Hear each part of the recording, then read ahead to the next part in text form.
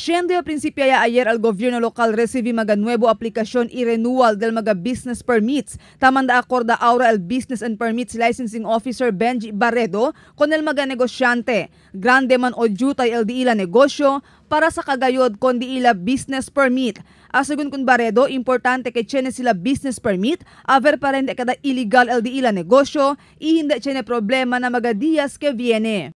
Para hindi kita kel abla to liga el end towards the end ya alya last minute pa sila to, todo man mandapuan aki.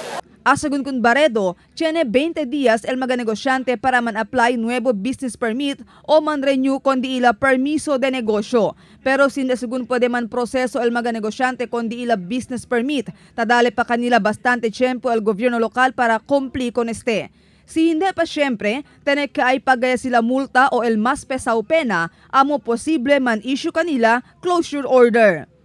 Uh, after after el daton renewal period uh, uh, dalingan ko nila 30 days to comply with everything and then chene kita through the executive order of our mayor chene el uh, joint inspection team el trabajo de sa joint inspection team para anda check ya man verify si ken el uh, compliant to safety standards de aton.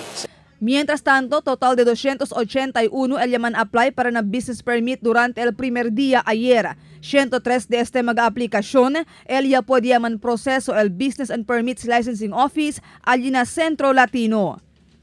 Marifita Mayo, Dateline Sambuanga.